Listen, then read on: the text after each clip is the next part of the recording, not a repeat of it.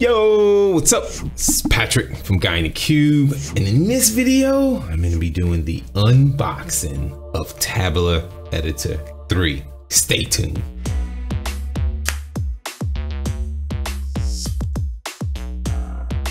If you're finding this for the very first time, be sure to hit that subscribe button to stay up to date from all the videos from both Adam and this guy. All right, Tabular Editor 3 was released recently. Believe it or not, I did not download it. I did not install it when it was out in beta. I didn't watch any of Daniel's videos. Maybe I watched a few of Daniel's videos, but not a whole bunch of them. When it finally went GA, I decided I'm gonna download and install it and then I'm gonna do a video right after it. I'm not gonna look at it. I'm not gonna tinker with it. I'm just gonna try to find out, you know, what's in it, what I like about it, and give you guys my first impression, okay? So you guys know I like to do, instead of all this talking, let's do what? Let's head over to my laptop. I've already installed it, and so what I'm gonna do is go over here to external tools. You can see it's integrated right here. It's an external tool. They run side by side. I'm gonna go ahead and click it. I'm so excited about this. There is different editions, and so you should go read about the different editions before you decide decide what capabilities are available to you and see what's, you know, within your budget. The first thing I noticed when I opened it up was VertiPaq Analyzer. And I'm like, wait a minute. So they have integrated VertiPaq Analyzer directly in the Tabular Editor. So you know what this means? As I'm developing my model, as I'm adding tables, if I add calculated columns, if I do foolish things with my model,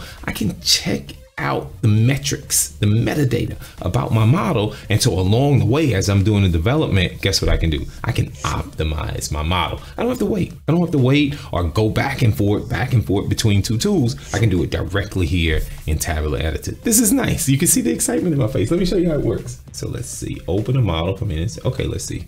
Let's go here. Hmm, how do we get to it? Ah, here we go, VertiPaq Analyze. So click View, Choose VertiPaq Analyzer.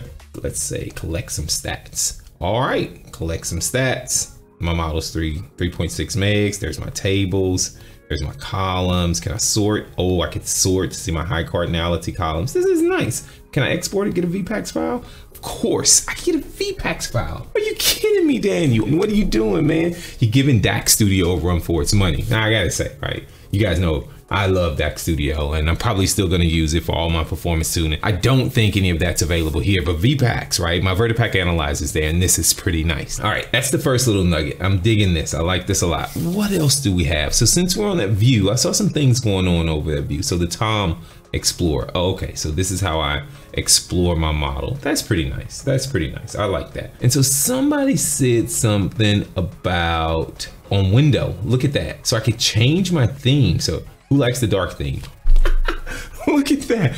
Boof dark theme right there, right there in Tabular Editor. Man, I'm falling in love with this thing already and I haven't done much, right? So all you gotta do is go to window, theme, and then you can switch it, right? Blue, you can go back to the traditional blue. Some people complain about the dark theme, but as soon as I finish this video, I'm switching back to the dark theme. I love it. All right, so what's next? Let's go back to this view. View, view, view. This is interesting. There's there's lots of good stuff right here. Best practice, data refresh. Very nice. Let's see what we got here. Let's see what we got here.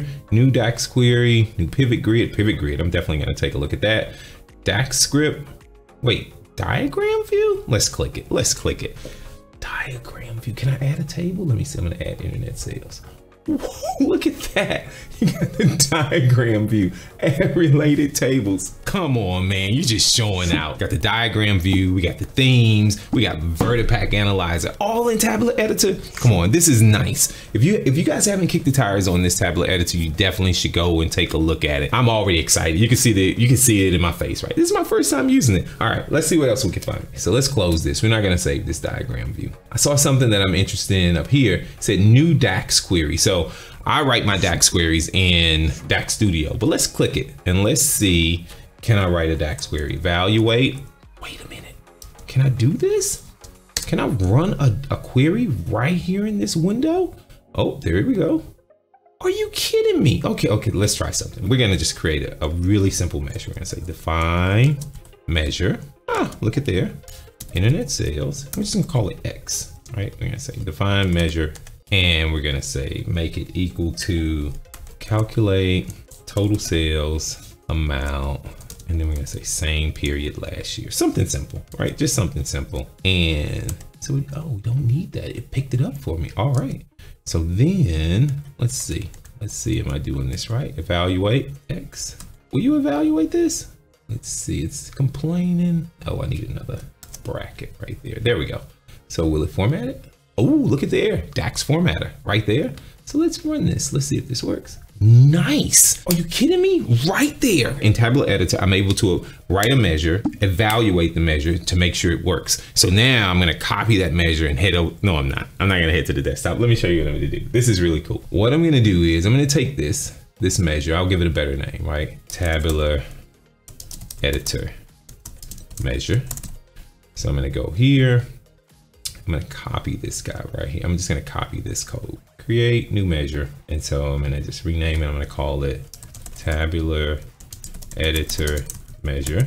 And then I'm gonna paste that code in there. And then I'm gonna save this back. Let's see. Save that back to my model. Let's go with the Power BI desktop and see if it put it in there. Oh, there it goes. There it goes. Look at that. I didn't do much. I just created it over in Tabular Editor and then poof, it appeared directly in Power BI desktop. Guys, I am excited about this. I don't know if you can tell by all the gestures, but this is this is not made up. This is my first time tinkering with this and I'm so excited about it. And I'm probably missing a million other great things in the product. I got my measure created. I want to test it out. Typically, I would go over to Power BI and start dragging it on visuals and things like that. But I saw this pivot grid view. So I see this pivot wait a minute. I guess I can drag and drop. Let's see. What I'm gonna do is I'm gonna go to calendar. I'm gonna grab year, drag year onto my rows here. Are you kidding me? And then I'm gonna grab the total sales amount. Let's grab total sales amount. Are you kidding me? And then I'm gonna grab my new measure. Are you kidding me? Look at that. Boom, boom, boom, boom, boom. Do you know what you had to do before? Either I wrote a query to test this out or I went over to Power BI desktop and created a visual to make sure that the numbers are working. Now, directly inside the tabular editor, I can use this pivot grid view and just, you know, as I create a measure, just drag and drop and test everything out to make sure it works before I push it over to Power BI desktop. This is bananas. This is bananas, guys. I am so excited. But there's something else that I'm thinking about, and I hope I can do this. This is why I opened up a new tabular editor because I wanted to try something out. This is bananas so far. It's bananas, and if it does this, then it may get the special ah, hold on I, I don't want to ruin it i don't want to ruin it so what i'm going to do is i'm going to get my XMLA endpoint. And what I want to see is like when I'm developing out my models, I remember from my old AS, oh, look at there. User workspace database. Look at that. For all you old AS developers like me, we had the ability to, when we were using Visual Studio, we could create a model and we could tell it, use a server, use an AS server that's out there somewhere instead of using my machine to host all that data. Maybe I got millions of rows or billions of rows. My machine can't handle that. So how do I solve it? I use an AS server. I set up a development AS server and then I, you know, create the model there. It's created in real time. And then if I want to refresh it, if I want to put 100 million rows, as long as the server can handle it, I don't have to worry about anything. Well, this is what I'm doing with my premium per user capacity. Yes, this does require premium per user or premium because you need the XMLA endpoint. But if you have either one of those, instead of using the resources of your machine to build your model, you can use your premium workspace or your premium per user workspace. So now we're gonna click OK. And then, oh, I get this connect to workspace database server. Let's see, I'm gonna put in my XMLA endpoint. Originally, you would put in your SSAS server, right? But now I'm putting in my XMLA endpoint, click OK. Let's see, oh, it's prompting me to authenticate. This is promising. This is promising. Oh, this is what the names of those workspace databases used to look like. I'm gonna go ahead and click OK. Let's head over to my premium per user workspace. Let me refresh this page and let's see if it creates that workspace database for me. Boom. So now I can continue to build my model. I can connect to tables. I can add measures. I can do whatever I want to do using that workspace database, refresh that model, do it all in Tabular Editor, open up Power BI Desktop, connect to it, build it out, load a billion rows if I want to, whatever my capacity can handle. Um, and I don't have to worry about burdening my machine. What? Are you kidding me? So I'm gonna say this. I'm, I have to say this. This new tabular editor it gets the insane, amazing tag. It's bananas. It's chaos. I love it. I'm gonna use it every day. All right, what do you guys think? You any questions? You any comments? Have you kicked the tires on this new tabular editor? I love to know. Let's continue the conversation where? In the comments below. If it's your first time visiting the Guy in the Cube channel, hit that subscribe button. You like my video? Big thumbs up. As always, from Adam and myself, thanks for watching. We'll see you in the next video.